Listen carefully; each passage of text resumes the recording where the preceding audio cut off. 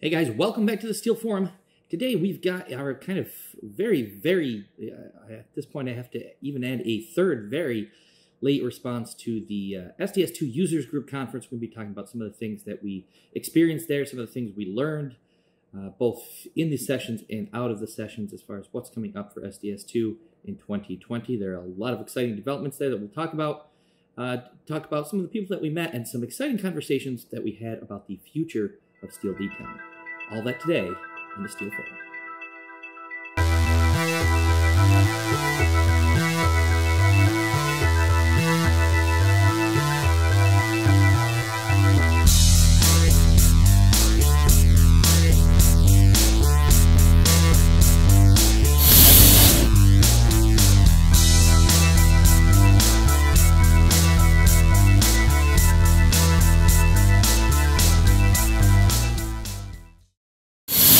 All right, guys, welcome back to the Steel Forum. Today we are having the beginning of our long lost conversations about our trip to the SDS2 Users Group Conference. If you are not an SDS2 user, you're probably not going to be particularly interested in this episode.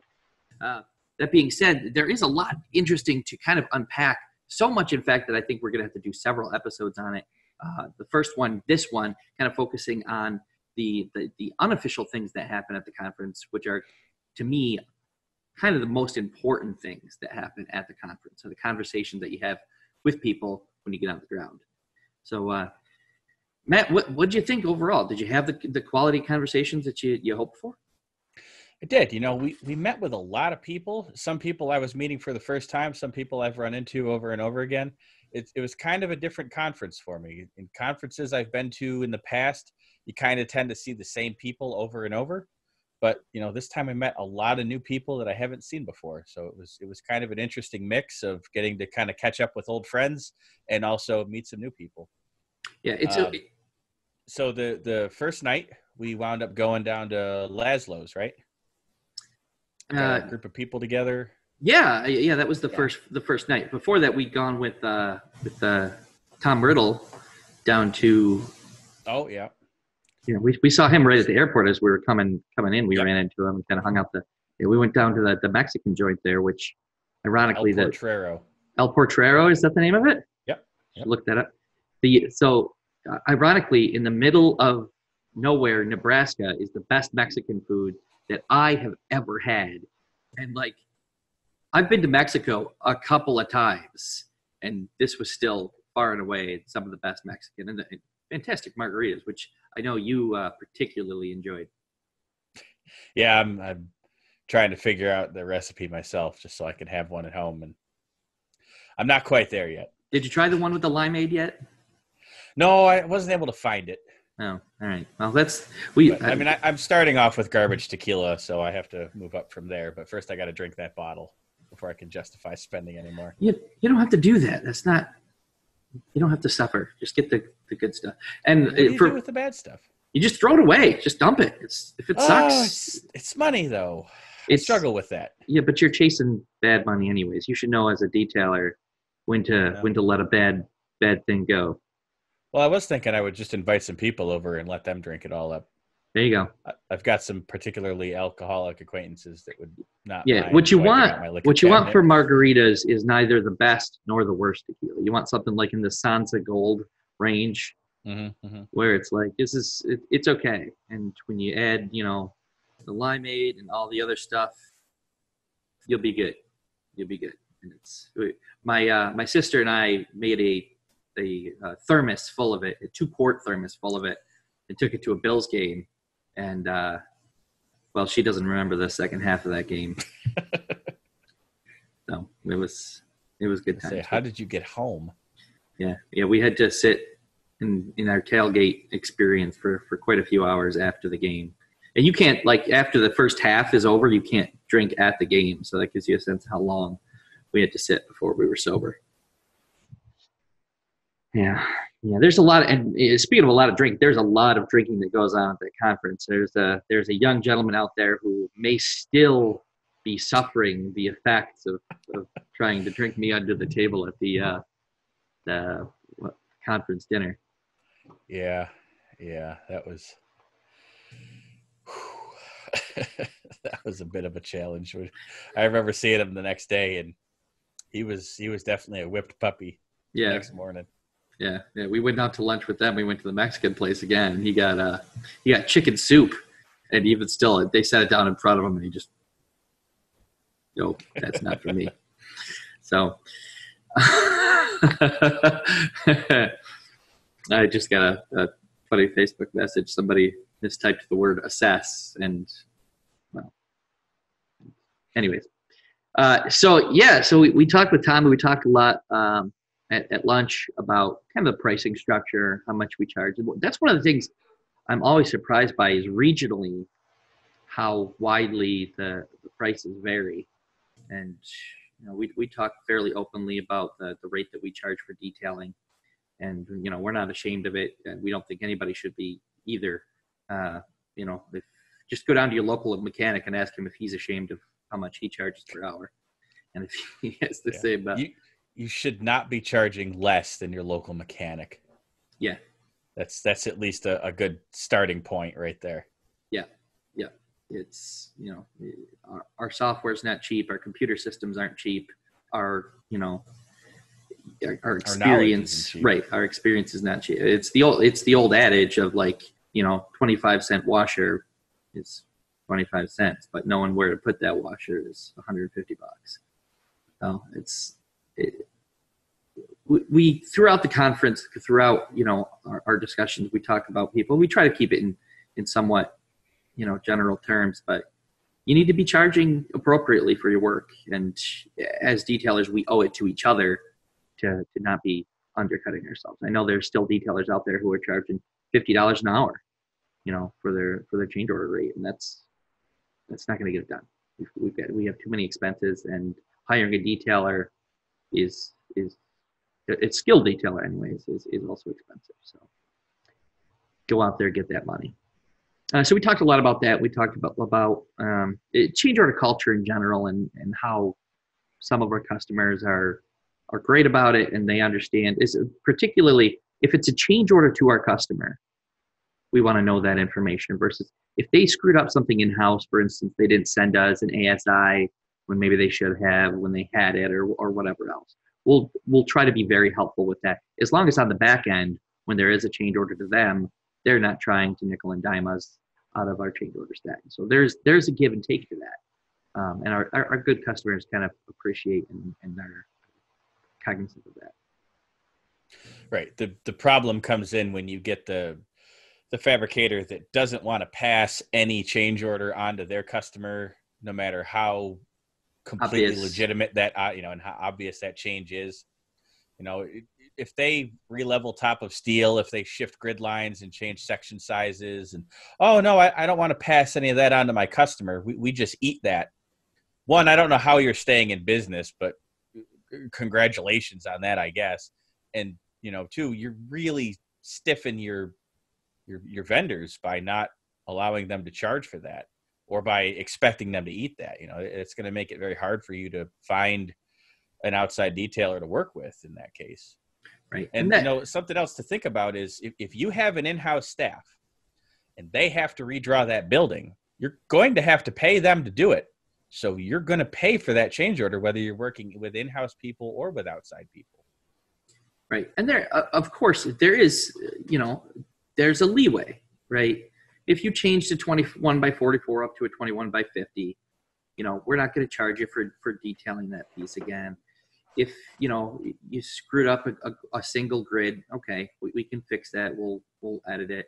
It's when they've taken the chance at approval to complete their design that, that we're looking for stuff. And it's basically, it's a matter of percentages. You know what I mean? If it's somewhere in the range of let's say five to ten percent of the project has revisions on approval. We'll probably kind of let that go, right?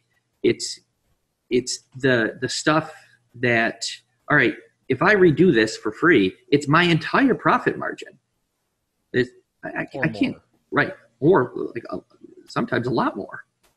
You you can't do that, and you know you got to talk to your customers too about listen, do you really want me to include all of this potential rework in my original bid? Because then it's going to all of my prices are going to be higher. Right. Now you risk not getting the job in the first place. Right. And if I don't have to do a change order, you just gave me that money for free. Right. So it, uh, there's there's a give and take, and uh, everybody should be respectful of it. But they should also be respectful of your time. Just because I'm not I'm charging you something, I'm not walking away with all of that cash. I have stuff to do with that money. Like I have to pay my bills. I have to pay somebody to to go through and do that work. So it, you know the the basic rule of thumb is, could I have expected this specific not change looking at the, the, the, bid drawings. And if I couldn't have, if I couldn't known that I had to do that work, then there's no way that I could have included in my price. And you wouldn't have wanted me to include it in my price. It's it's just not a good look. You know, and we have we have customers too where they'll say, "Oh, well, because you phrased that question that way, it means that I can't go get my money because the the approver had to redesign that thing." No, that is not true. No. If if there's Our no questions do not form part of the contract documents. Right, right. Either it was shown and can be could have been anticipated on the contract drawings, or it wasn't shown and it's an error and they had to do something else. There's no question that we can ask that says we're going to do it for free. The only way that happens if we can say is if we say this is for our convenience, right? This is to make fabrication easier. We would prefer to do it this way. Then there's some argument to be had that okay, you did it for your convenience. But if it's because you know you framed a W21 by 50 into a W12 by 14, and so you had to upsize that 12 by 14, that's that's a change order and everybody should accept it. But we've we've seen that through a couple customers who are like, well, I don't want to ask the question, and there is a there is a finesse to asking questions in such a way to make sure that they understand that this was something they left off their con you know their design documents. But there's there's a line, right? It's right. And posing a, a, a suggested solution does not lock you into owning the cost of that solution. Right. You're just attempting to be helpful. That's not, you know, in any way, shape, or form making you liable for the outcome of that. It's ultimately up to the design team to decide what is it we're going to do here instead. And then if that's an increase in price, they have to pay for that. Yeah. yeah. Or, or the owner does. However, you know, however that gets reasoned out at the end, but it's not on the fabricator and it's not on the detailer to eat that cost. Right. And that's the project manager's responsibility to take care of. So, uh, you know, but they've, they've got to be honest about it. Um, so that was kind of our, our, our, lunch with, with Tom Riddle, but also a conversation that we have kind of consistently through these conferences is, you know, where's, where's your money going? How are you getting it? Um, and that, you know, you, you started to talk about Lazlo's. That, that was one of the next conversations that I thought was super important. You know, we, we ran into the folks from uh, Tinker Steel Detailing, mm-hmm. um, and we discussed with them kind of some of the hoops that they've had to jump through to to get their customers to pay at times. You know, it, right back to kind of the and this wasn't that long ago. The, the story that they told me about it was, you know, they had to physically go to a fabricator's office with a roll of drawings and okay, you hand me the check and here are your drawings. And it's like it's so ridiculous. And then it's funny too because they, they said the same thing. A lot of these fabricators are like, "Oh, I'll never work with you again after this," and it's like, why would you think that I'm gonna just because you know I'm a sub to you does not mean that I'm gonna roll over for everything you want and every work you have is a gift. Lisa, may I have some more? No, no, that is detailers are a demanded product and we are not going to be treated like sure overseas detailers will chump through all kinds of hoops, especially the the newer ones who are struggling for business. But we know what we're doing. We do it well, and we're not, you know, not hurting for it. We're not going to just roll over for whatever you say. And if you don't pay us, why would I ever, ever want to work with you again? That's that's not right. work. That's slavery. if I can't reasonably expect payment on a job that was completed, then why? You're not a gift, you know. I earned that money, and I, if if that's the way you're going to treat, you know, your your essentially vendors, your your suppliers and whatnot, then nobody's going to want to work with you.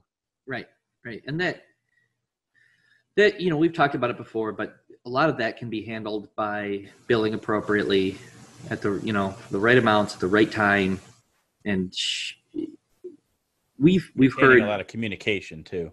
Right, right. We we heard a lot of of a wide range of billing terms, anything from well, we don't bill anything until it's in for fabrication to when I send the approval drawings, I bill 100 percent, um, and it's it's that seems to be a regional thing too because we have we, we've only ever come across one customer that says you know when you submit it for approval bill me the whole thing outright and we get a, a an array of ones that'll tolerate 80% or 90% billing when it goes for approval some want 50% it, it, it's kind of all over the place but they all also think that whatever it is they do and we come back to this a lot but whatever it is they do that's standard and it's the only way anyone would ever do it and nobody would ever ex- accept anything other than that.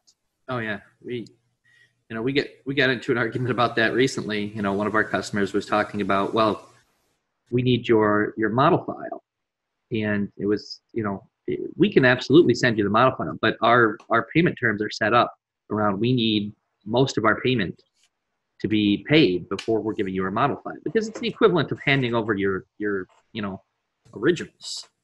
They can do whatever they want. And this wasn't an established customer who basically we know that their checks are going to be good. They're going to come in on time. We don't have to beat them up about it. Um, because in that case, a lot of times we will. We've developed that level of trust.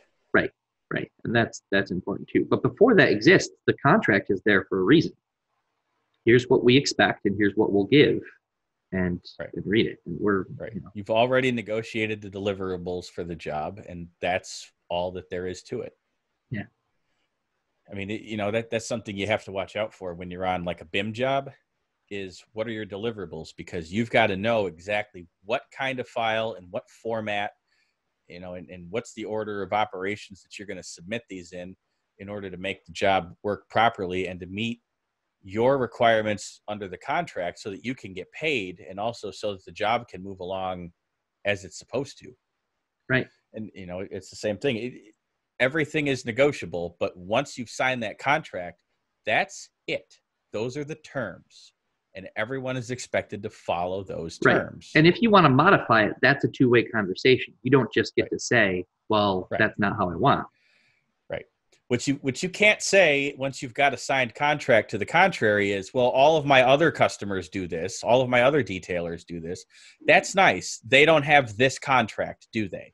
Right right and again this is we talk about all the time but we are not shy about our contract it's not a long contract it's one page of terms that say this is what we're going to deliver this is when this is what we expect for payment and this is when and these are what happens if any of those things aren't followed. And you know, uh, we're also too we make sure that you've read it and that you agree to it. And right. It's you know. And if you don't agree to something, we have a discussion about it. It should be negotiated. Yeah. Yeah. And we do that too. You know, we we modify our terms all the time when we have a customer that they want a little bit different billing terms, but whatever it is, you have to have that conversation. If you agree to it, then you've agreed to it. You can't change your mind later on and say, "Well, I know I've signed up for 15 day terms, but I pay everybody on 45 day terms. Oh, well, then you're going to find lots of problems when your job is delayed because you're 30 days past due all the time. Right. You know, and, but if you'd had that conversation to begin with, then we could have figured this out. Yeah. Yeah. But through a lot of ways too. Like, uh, you know, a lot of times fabricators are like, you know, I'm sorry, you know, the, the project manager, but because of the, you know, the way our payables work, there's some, you know, Suzanne up in accounts payable won't pay anything before 30 days. I want her to, but whatever. All right, well, then let's have a discussion about it because then what I'll do is I'll just issue our invoice earlier. You know, you set, put it in for accounting and then, and then get that out for payment. And then we're still getting paid when we need to be.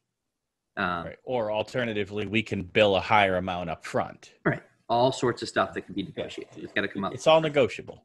But you, you you mentioned that you know you think it's kind of regional, but I, I don't necessarily think it's regional. I think it's it varies a lot depending on the size and width of the customer base for the details because there are a lot of detailing firms and this is not you know in condescension to them that have one or two customers that they kind of stick with Right. and a lot of times they are customers that they started with before they really kind of got their business acumen kind of all developed in place so they've had a handshake agreement that works for them that they've developed that trust for and Mhm.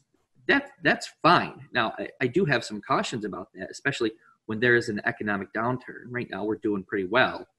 Um, so most people can pay their bills reasonably on time. But when there's a downturn all of a sudden that stuff starts to become a little bit more important you know especially if jobs get canceled if jobs get delayed all of those things. You know when stuff goes bad it's really really nice to have that written signed contract behind whatever it is that you say um, because convention goes right out the window and lawyers get real real expensive and real excited when you don't have any clear terms between the two of you Right. Yeah. Right. In a in a lawsuit, uh, lawyers win. And Yeah. that's Yeah. that's the long and short of it. Yeah. Um, it- something I want to talk about in the future is we have found a collections firm that works on contingency. Uh, we're still kind of feeling them out to see kind of what they can do, but uh, for those uncollectible bills, you know, what we term as bad debt, um, they're they're looking to be an asset to us, um, especially. Well, we've we've actually got a couple of different things going on. One is a firm that helps you manage the lien laws, especially in a state by state situation. And when you're a subcontract detailer, that's really a, a much bigger issue than you would think, because each state has its own lien law rules. So you've got preliminary notices of furnishing, you've got notice of intent to file lien, and you've got the actual lien. And each state has varying rules on how that's done and what you need to do to actually protect yourself. Yeah, and you could be you could have been operating in New York, which has fairly comfortable lien laws for for subs, and not know that hey, I'm starting a project in say Michigan. Michigan, mm-hmm. where you have to have all these things in, or your lien rights are completely gone. And the the service, I mean, it's relatively cost effective. It's it's Well, if you compare the price of the service against even a single back charge, not, not a back charge, because I, I mean, I want to, when I use the word back charge, I want to consider that as a legitimate back charge. But Right. when, a, when a customer sees, for, for potentially about to be a former customer, sees fit to just stiff you Yeah. because something went wrong on the job and, you know, they're just, the the something has always been made up, Right. right? It's it's always a thing that never existed until it was time time to write pay the check. bill. Yeah. Yep. One of the terms in our contract actually says, you know, listen, if a if an invoice is past due, there's no back charges on that invoice. You, you Yep. can, if if that invoice comes in and you've got a back charge, let me know that you don't agree with the invoice, and then we'll address it. You you have those those rights, right? Because Right. if we screw up, we want to make it good. Absolutely. Um, but we we've seen so many times where the the back charge is just used as a way of not paying an invoice because it always turns out to be almost the exact amount that you're Right. you're due, or some like egregiously inflated, like uh, a clip angle was down three inches, it should have been two and a half, so it's eight thousand dollars. Yeah. Yeah, Yep. something like that. Um, Right. But- and and it's not brought to your attention until the building has a C of O on it, essentially, and Right. it is And the done. Yeah, the point that I wanted to bring up about the service, um, and I'm specifically not saying the name of the service because I want to talk about it dedicatedly in another video, is that we kind of expected at first for there to be pushback from our customers when they were getting all of these kind of preliminary lien notices and stuff like that. But we've seen none of that. Um, and t- kind of to the contrary, the especially some of the smaller fabricators have been grateful for it because they know that because we're taking care of our stuff, if they get into a bad way, they can fall back on us because we've got a lien. Well, they're going to have to get paid too. um, which of course we can get a direct check and stuff like that, so they don't always get have to be, have to get paid. But an honest fabricator, one who pays their bills, is not going to be scared of a preliminary lien notice. Right. Right. And if they are, you should really be concerned about if you're going to get paid on that job from that fabricator. Right, because that's almost like the, the automatic next question is they say, well, why are you sending? You know, if they, I, I don't like that you're sending these things out. Why? Do you intend not to pay me? Right. right. That's the only worry is that, you know, they intend to not pay you your your final check later on and Right. if they know that somebody's going to be holding them accountable for that, then if that's a problem, then you probably Yeah. don't want to work with them anyway. Right. And the, the message I have at at all these conferences, whenever I'm having conversations with detailers, is how important it is for every detailer to go and get their money and be really aggressive about collecting their money because we all need it, right? If if several, if half the detailers in the world are okay, you know, getting screwed, then fabricators are going to get spoiled with that. The, the bad ones are going to go, oh, well, it's okay for me not to pay. Nothing bad is going to happen. Where we're trying to teach a freaking object lesson, like you know, it's the equivalent of a friggin' spanking at the end of it. It's not about the, the, the, the it's about you need to know that your reputation is going to suffer if you don't pay your bills. We are going to tell people you didn't pay your bills, and we're going to get our money. And that's the you know we've had all sorts of bravado, all sorts of things. In the end, we get the money, right? and and, and that's it that's that's that's what it's kind of about so that's again you know we, we had those but I, I just love those guys from particular i can't i can't remember both their names and i, I had just looked it up um, because you meet so many people and the the names escape uh, but they were it really had I, a good I, I have a collection of business cards from everyone I could get them from, but the people that, that went without, if, if I'd only met one or two people, that would have been different. right Man, there's there's there's so many popular popular group that day. Um, well, and that was that was the the funny thing. Um, it's the only room in the world where anybody knows who we are, right? Right. There's you know what 500 people there, and about 100 of them watch our our videos, and we're kind of excited to to meet us, uh, which was fun. It was it was it was great to to meet some of those people, um, and also amusing to see some of the ones who, despite our very questionable status, were like nervous to come talk to us. right? Like it was it was like it, we, We had some fans. yeah, yeah, it was nice. You know, um, Yep. we also had some not fans though. Um, you know, particularly, you know, we walked into the the conference to kind of just take some video in in, in the the what's it the exhibition hall. Yep. Yeah, and there were just signs just posted, just everywhere, right? To to not video um, which we found, I think, disappointing. Uh, I think a lot of our viewers found it disappointing too that the information there, which is ostensibly for to be shared with the entire user base, was um, restricted. And you know, we had some conversations with with staff, kind of about that, um, and about the kind of the future of social media, right? And in SDS2, and that there's there's no way to present uh, a channel that is always exactly what SDS2 wants um, as far as public information. But that's coming, right? People are going to share their opinions about software one way or the other. And it's important to us that we be seen and that we're a figure to push SDS2 forward to, to kind of help them. That's our goal, right? Even when we're complaining, even when we're negative, our goal is to bring about positive change. Right. And And the only way to accomplish that is to be entirely honest, for good or for bad. Right. You, know, Right. you, you have to know what it is you're dealing with so that you can address it. If you can't discuss something in an open and honest manner, then you can't really tackle what are the issues and how do we fix them. That's not to say that some of it did not provide me valuable perspective um, Right. because we we do have a certain dynamic, which is a back and forth, where it's it's almost a devil's advocate situation, um, where you know you'll say something and then I'll challenge it, and then you know it we kind of figure out the, the best way. Um, and that's a, a, format that we use because we think it's valuable for teaching. Um, and it, it, has been in the past. It, it, worked as opposed to, you know, when we first started doing videos, it was us trying to read off of a script and, you know, do it almost webinar style. And it doesn't work. It's, it's terrible to watch. It's boring. It's, it's, it's awful.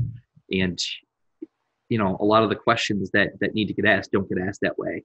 Um, and again, it's, it's, it's not, for lack of a better word, entertaining. Uh, so, so it's not valuable for us. So, um, you know, that was uh, honestly disappointing for us because we we look at ourselves as allies of SDS2, um, and we did not have the the perception of, of a welcome there or as an ally. Um, we we did have a conversation with SIP, so we think that you know, in the future we're gonna try to uh, work together a little bit better. Um, but it's important for us to, to kind of maintain our I, I, integrity sounds overly grandiose because you know it's not it's not some deeply seated moral whatever. It's just that you know i think the users need to hear the the truth and i think it's a better channel and it's more productive for it to be that way. And there are obviously going to be times when sds2 disagrees with us and that when we're wrong right? Like there were several times where i said stuff you know whether it's on, on video you know at my my session or wherever else where I just say, hey, SDS doesn't do this. And then, you know, somebody from the community or somebody directly from SDS2 corrects me. That's not a bug though. That's a feature, right? When we started the channel, it wasn't because we know everything about SDS2. It's because right. it was to have the conversation. Right. And that allows people to, to grow. Right, right. And we're willing to put ourselves out there and look stupid, particularly me. I am an expert at making myself uh, apparently stupid and you know learning from from that it's it's a it's a real skill i have well, I like it that you occasionally get behind the curve on SDS because you're a little bit more removed from it. So I get to teach you things here and there. Well, and it's crazy too because you know we we'll have a, a moment with uh, Bondo, is one of our, our our detailers, where something that we've known has worked for a long, long time. Uh, for instance, move, you know, moving materials Move without material. members, you know, where if you grab a bunch of materials across several members, you can move all of those materials without selecting the member. It, you know, it prompts you select a member to move them to, but if you just return on that and okay, so when you run the uh, the tool to move material and it goes to ask you, you know, which which member do you want to move this to? If you just hit enter instead of picking anything, then all of those different materials will stay attached and associated to the members they're already associated with. So you can just move them and they all stay where they are. And that that kind of blew his mind because you don't really know that's a thing. I mean, it's not right not something not. you see as an option you know right. so you think right. oh i have to pick something and now i'm stuck now i have to you know i can only move one member at a time Right, and that's one of those things like that in the the interface should be, you know, it it's a simple tweak to change the prompt. You know, select the member or return to you know leave the members unedited. You know, I don't know exactly the language, but something along those lines. Um, but it used to, at least by now, it used to work that you had to select a member, and then at some point they changed it so it would just stay where it was. Uh, but you know, it's that's the, that's the classic example of yeah, I didn't know you could do this thing. Uh, one of the ones that I had from my session, um, you know, I did a session on SDS2 hacks, um, was, you know, I mentioned, you know, you can't do a, a plate stringer in SDS2. Well, it turns out if you just type in a plate shape under section size, you can use a plate stringer under stairs. I had no idea. It's, it's asking for a shape. Everywhere else, when I need to type a type of shape, I have to type a shape that, you know, works a wide flange, right. channel, etc. But in there, you can type, you know, plate order by 12 or whatever it happens to be, and it makes a stringer out of it. And it works. And it was like, but, you know, bringing it to me as a, you were wrong and saying, you know, you were wrong as if that's something that I'm going to be bothered by. No, I'm, I love being shown, you know, when I'm wrong. I love it. It's my favorite because it's a I learning can- opportunity. And that that's proven you know it was that was one of the things i had when i was coming up as a detailer. I constantly got into conflict with our checker because he would say this is wrong do it this way. And i would say you know i would always say why is it wrong? It's not it's not that i don't believe you that it's wrong it's that i need to know in order to grow. Um yeah i, I rhymed it. Right fine. I thought it was a good rhyme I can't quite hear what you're saying there. Okay. I said I need to know in order to grow. Ooh. All right, fine. You're no Eminem today, my friend. No, no, I am not. Maybe a Skittle. Um, yeah. See, I am a full-on dad. I've got the full-on dad jokes going. It's, it, it makes me proud. Um, so you know, one of the things I saw at the conference that I, I really like, I have to give a lot of respect to the users group or the advisory board, not the users group, uh, was just how long and hard that they were working. Like they were, you know, we're off going to get drinks and good Mexican food and, you know, just having at it with, with people that we're meeting and having our hot tub time. And, you know, in and out of all of that, they're just sitting at a table having what seemed like some pretty, pretty serious discussion. Um, Yeah, they they were they were in talks the entire day before the conference, I believe. They got there early or possibly even the day before that and then they were there right up until dinner. We talked to some of them and then they said, "Well, you know, we can't go hang out with you guys cuz we've got to actually go back and have more meetings." So I think they were in meetings until like 9 or 10 at night that night. Yeah, yeah. And really great. And you know it, all the all the respect in the world to the people who do that um, you know because there's there's not a whole lot of benefit to it. Um, but I, I think we should talk a little bit more too about our you know our perceptions of because we're, we're going to go into the sessions themselves uh, deeply but i wanted to talk about the the one about what's coming up with sds2 both the, the session with Stuart Broom, who's the CEO, and the one with Steph on, on what's coming up in SDS2 2020. We were about to we were about to talk about the uh, SDS2 uh, kind of what's coming up and, and and what's new in 2020. Uh, we mentioned there were kind of two different sessions. There's one with Stuart Broom, who is the the new. Uh, I'm not sure if he's official yet or the still interim CEO of SDS2. Uh, and then there was a separate one, which was SDS2 2020 presentation by Steph Haith, um, which kind of went over the, the specifics within the software itself. Uh, so I, th- I think maybe we should start off with kind of the, the vision for the future that, that Stuart talked about. Yeah, so uh, they're they're taking they're taking a, a real hard look internally at the way that they've been doing things and what they need to do in order to get themselves kind of back on the right path.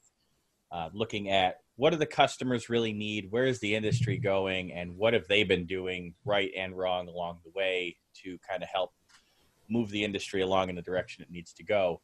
And a lot of what they've what they've come up with as far as the direction of the software is going to be things like getting a, a better release schedule going and having a more stable release. Uh, a, a lot of what I was picking up on was a lot to do with the uh, internal testing and how testing is going to be carried on and how these versions are going to be released to us going forward as far as the alpha being entirely internally tested. Beta is no longer just going to be available testing for uh, you know anyone that kind of wants to do it. You're going to have to fill out the nda you're going to have to Really Uh, commit to, yeah to, te- you, to have to testing. really commit to testing it's not just well i want the latest version just to see if it fixes the bugs i've got right. And you I'll know, run it through what I'm doing anyways. right you're, you're going to be dedicated to testing it if that's what you're going to be getting into Yeah, and I think that's a tough sell. I think they're going to have a hard time getting people to be uncompensated members of their beta program under those restrictions slash requirements, uh, which isn't necessarily a bad thing, right? It's just, um, you know, I don't think people are going to do that work for free.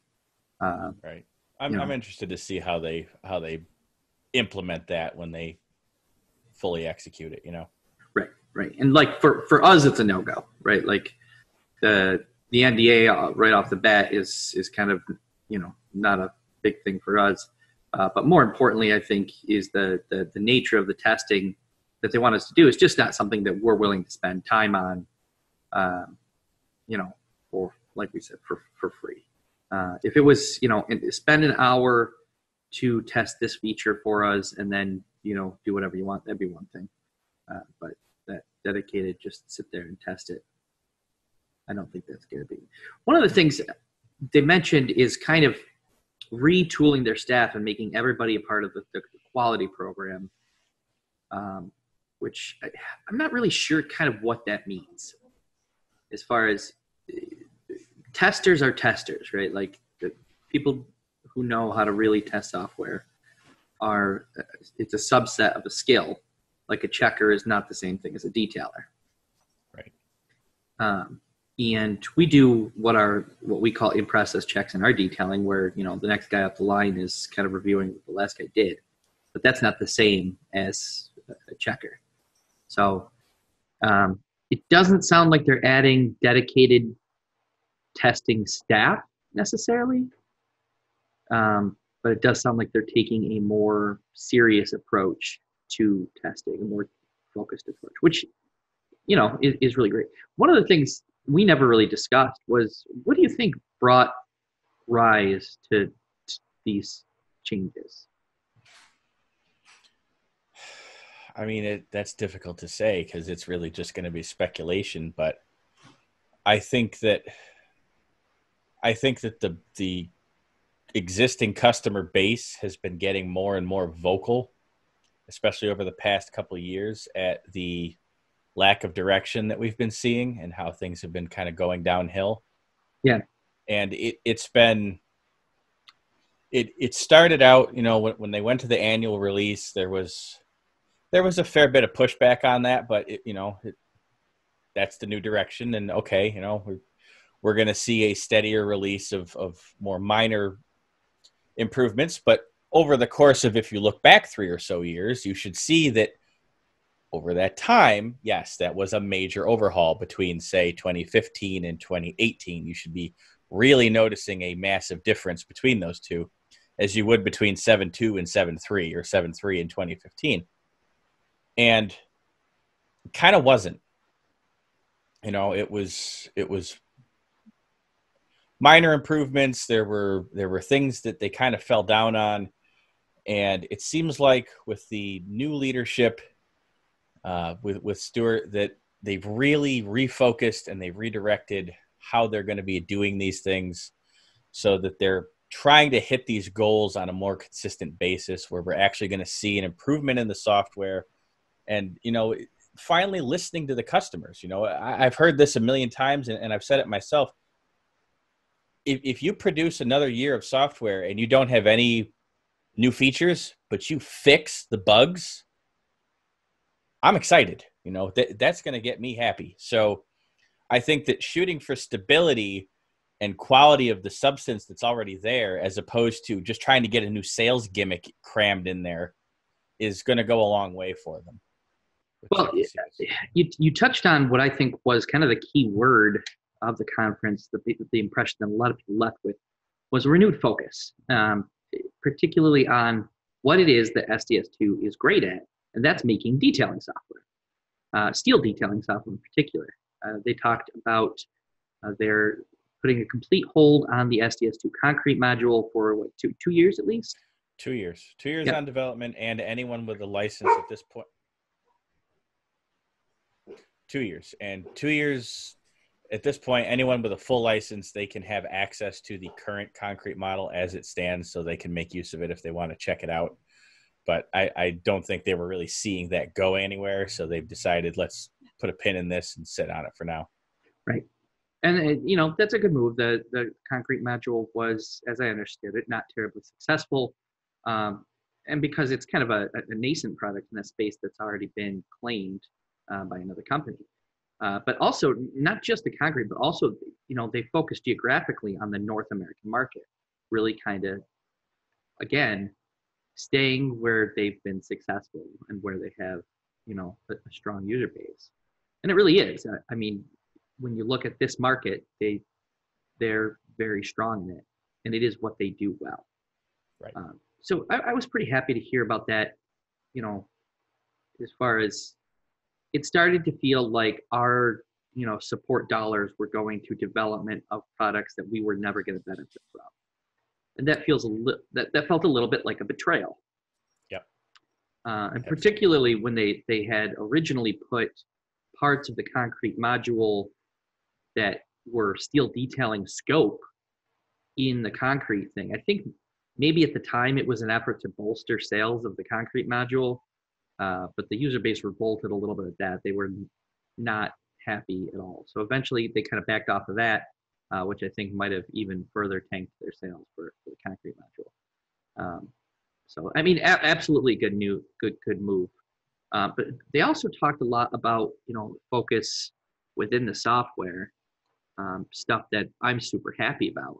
Um, the first and the big one, something that they've, to my knowledge, never actively talked about before, which is the user user interface and user experience as a thing in and of itself. Right. Like Right. And that's something that you've had a you've had an axe to grind with that for years. yeah at this point. I, I I think it's valid right like Right. this is i mean it, it's just like building yourself a nice office someplace that you want to work in right we spend our lives inside the software we'd like that to be an enjoyable experience you know something where i'm happy to be in here. I'm not struggling. I'm not pressing okay to 35 dialog boxes that that don't need to be. Um, and, and improving that user interface and user experience is going to make your like the customers a lot happier. Because you know i take our employees mental health fairly seriously right? Like i want them to enjoy their work. We've we've all worked in miserable environments and it does not have to be that way um, and it's that that's a big part of it but also productivity goes up hu- hugely when these things are just designed right. You know, the simple, you know, thing of putting the setting dialog box in the place where that setting is actually applied, stuff like that really makes a big, big, big difference on how quickly and efficiently you can use that software. Um, and there's a certain tendency, you know, of, I, I think people in general, when something gets frustrating, to just take a break from it for a minute, right? Like you get, and you're like, oh man, I gotta go into this this other box, and you know, uh, maybe I'll just check my stocks real quick while I'm, while I'm doing that. See if I'm a millionaire and I can quit this stuff yet. Right, right. It's it's it's stuff like that where like you have to go look and you have to go do a different thing, maybe go out of the, the model and, and switch. That making that stuff better is is going to be nice. Um, I hope part of that is is to improve the what I call isometric experience, so people can actually work in 3D. Uh, you know, nobody who's using SDS2, you know, all, all their demonstrations and stuff like that show them working in isometric views, but nobody does that because the point snapping, the, the the visual feedback of what point you're getting to, all that doesn't doesn't work well enough. Um, Right. And- it it's difficult to have faith that you've achieved the correct the exact correct work point. Right. And a lot of that is visual feedback, things like snapping to, you know, X, Y, and Z axes. So when you're moving around, you can see that, yeah, I'm still on that line and giving dimensional feedback of how far I am. And they've made strides in that, but it's still not quite there as far as visual feedback uh, as to what you're doing. Right. And some of it I, I find would be hard to even ever be able to get behind. You know, I mean, when, when you see a demonstration, it's always to perfect points. You know, the absolute end point, the absolute midpoint on the center line of the top flange of a beam, something like that. But, you know, how, how do you know that you've got a construction line that's offset two inches in one direction or the other from there? And you're exactly to the point that you want when you're not putting that in a plan. Yeah, and there's some tools that they're going to need to throw in there, right? Like, you know, a, a snap point that's from, you know, from this existing point, seven feet in this, you know, along this axis to here. Um, some stuff like that. And some, you know, visual nodes that you can grab on and manipulate the model without having to issue commands. Stuff like that is stuff that I, I hope to see in there. But more than that, you know, stuff like just making it so the information that you need is readily visible and understandable and that you don't have to go digging through dialog boxes. Uh, hopefully, the settings get some attention so that we don't have to play our favorite game. Find that setting where you go, you know, digging through uh, the the fabricator and job setup to try and figure out, you know, how do I change that? You know, pipe lengths in the bill of material are listed in total linear feet instead of one item at a time. Now, if I recall correctly, uh, in 2020, I believe they had a significant condensing of those settings down so that you're not going to four or five different places to set up your shear plates or joists or things like that. I, I think that was a, a, conversation point that they had or a bullet point that they had. I don't remember that being mentioned, but I'll take. I, I just I, I, feel like it was discussed and there was a, a slide or two about it, but you know, not being able to record. Yeah, yeah, it kind of put a, a damper on it. So, uh, one of the things that they talked about a lot that I don't think we should focus on too much because we're just not very knowledgeable about it is the ABM overhaul. Um, right. The the one thing I will say is that they did a session on that which I attended, and it was very much tell us how you want this to work around they were they talked a lot about that ui ux um, yeah. how can we make this efficient and effective and i think that's that's an indication of good things to come um, and then they they talked um, about the .NET API project, um, which having a .NET API is is an absolute game changer in ways that I can't possibly convey in the time we have in this video. Um, there's so many interfaces, so many different products you can bring in and and make really kind of intuitive programs and and interchanges. It's really going to make the software a lot more powerful.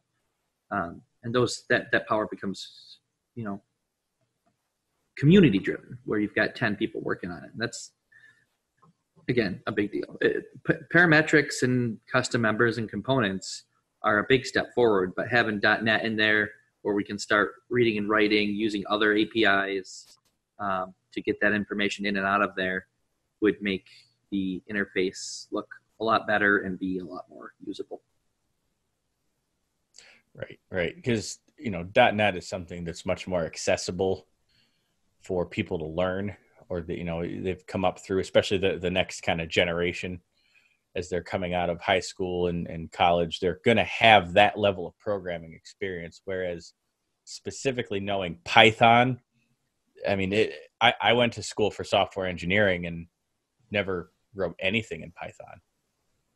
Yeah and it's not we, that python's a complex language but getting into it and really making it right. go that, that gets a little complex not that .NET isn't complex, but it's understood by a lot more industry professionals. It's yeah, as I say, it, it, it's taught to more people. It's taught more broadly to yeah. people, you know, that are coming up with any kind of computer science background, yeah. which is more common in schools today. So you know, that's going to be something that you're going to see more often anyway.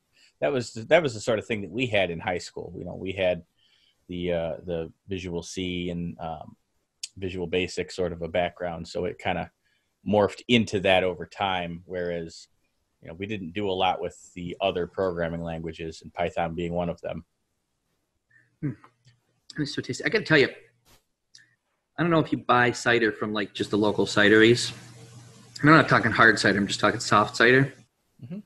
But yeah. it turns well, out I would only buy it from a local orchard. I would never get it at a grocery store. Yeah, the grocery store cider is junk. Um, but the the local cideries all use a UV process to kill off the, the bacteria. Um, but what it doesn't kill off, which is fantastic, is the naturally occurring yeast that kind of conglomerates on the peel of the apple. If you just take normal cider and you just leave it, you just set it out on your counter at like 70 degrees, it will harden naturally. If you just loosen the cap a little bit, it'll it'll vent.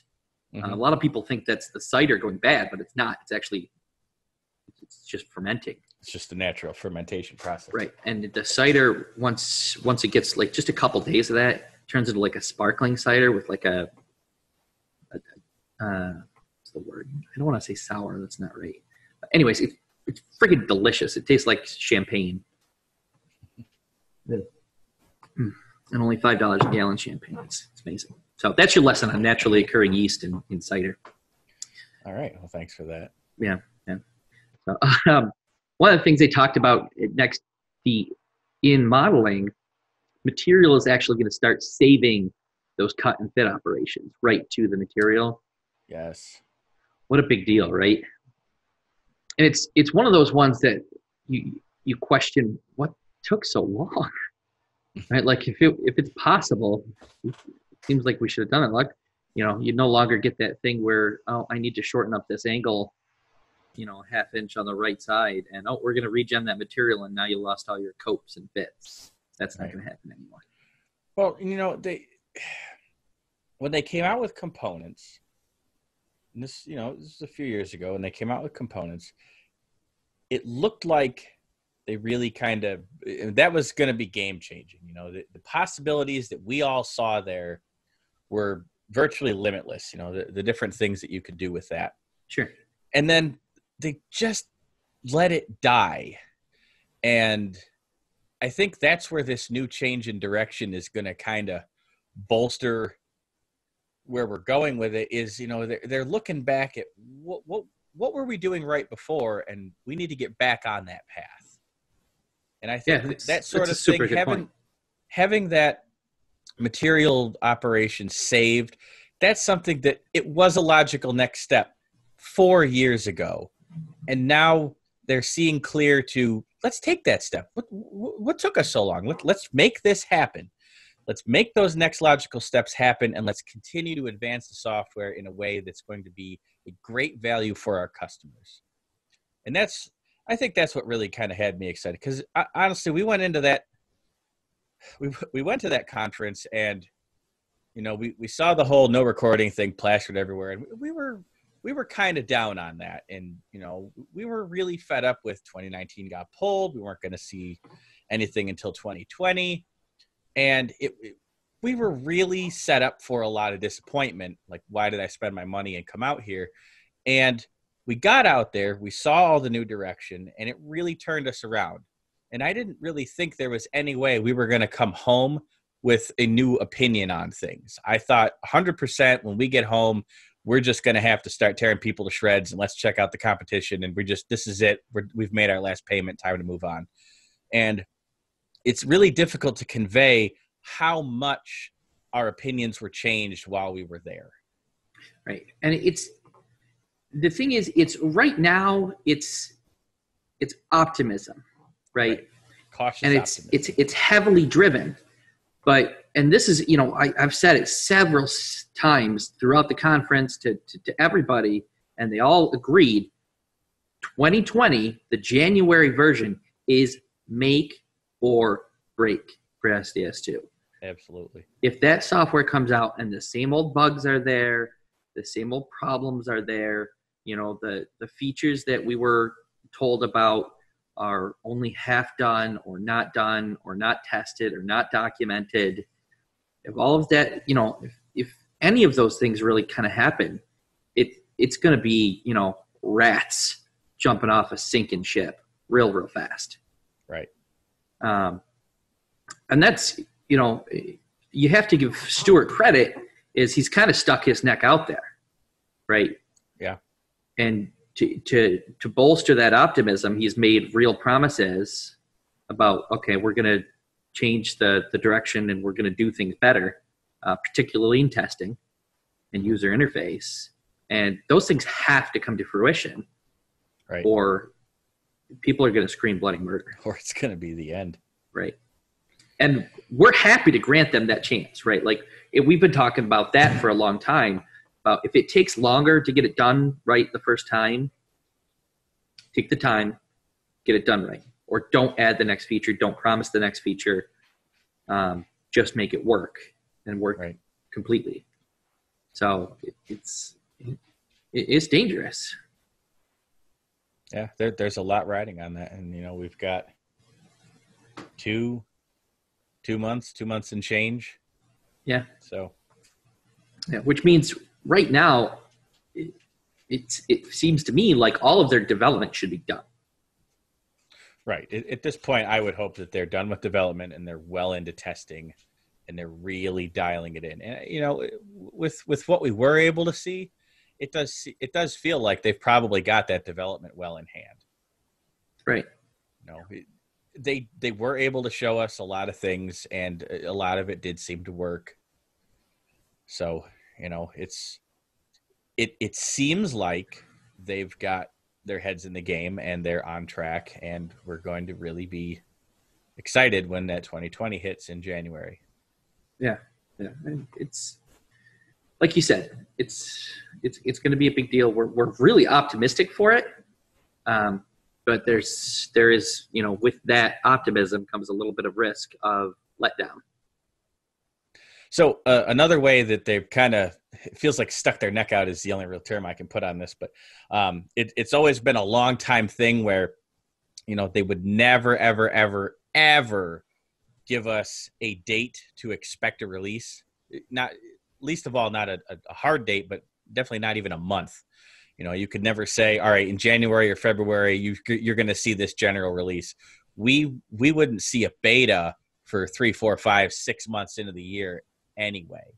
So you know that's another way where they're they're kind of putting it out there that we're serious about this. In January, you will see a general release, and you will see another one mid-year. Now I'll give them the floating mid-year because that's just kind of a bug fixes and some minor additional development, but um, you know, so when that falls, it falls. But approximately mid-year is something that you can still kind of hang your hat on to some degree. But you know, you you would say, all right, well, it's it's 2019. Where's my general? Well, January, February, March, April, May. You don't have anything yet, so you go six months along, you know, and you don't see anything. So for them to kind of put their necks out and promise that come January, we'll have a general release, guaranteed. We're going to do it. You know that that's another bit of commitment on their part that I really like to see. That you know it gives us something to hold their feet to the fire and also it's a promise from them to show that level of commitment that they are making that change to get things done for us. Yeah yeah and i'm, I'm like i really am. I'm, I'm excited about some of the stuff they're talking about. Mostly again it's not a new feature that i'm excited about. It's an improvement of the existing features making the interface cleaner uh, and, and retooling that focus and that testing i think is, is a big deal. Uh, I, I don't know how they're going to improve testing without actually adding staff or you know dedicating staff who might have been doing other tasks to that. Um, hopefully some of those jobs that may have been lost in refocusing uh, came back and you know maybe some of those people were retooled or whatever else. Right. um, but you know it, it, as long as they're doing those things and actually testing and then documenting their software it's it, it's going to be a, a, a great new day for for. Absolutely. And that was the, the the the advisory board. You know, the users. Everybody was kind of excited about this potential, and you know, in the past, people have been excited about a feature or two that's coming out, but not about generally the direction of the the company. So that I think is more exciting than, than the standard thing. So I think we're coming up on too long for this video. I think we should uh, we'll, we'll, run into another one shortly here, um, probably the next day or so that we've got to get that recorded. So, um, coming up, we are going to talk more specifically about the sessions that we went to. We'll talk about a couple more of the conversations. Uh, I, I, do want to mention that we we did run into some more people. We were kind of really happy to meet them and kind of get to know them. Um, and we, you know, we can't shout out to, to, to all of you, or we could, but you know, nobody would, would sit here and watch it. But uh, you know, the, the, those guys from Soils, we really, you know, spent a lot of time with Soils and Structures. Um, right. People at AirCAD, we had some really great conversations with. Um, you know, Tinker Steel Detailing, um, Don Dillard and company. Just all across, we, we had a bunch of conversations. One of the conversations I'm most excited about, Bob Bennett, uh, we talked about a new direction for the NISD, or possibly just supplanting the NISD. I got I got to uh, correct you there.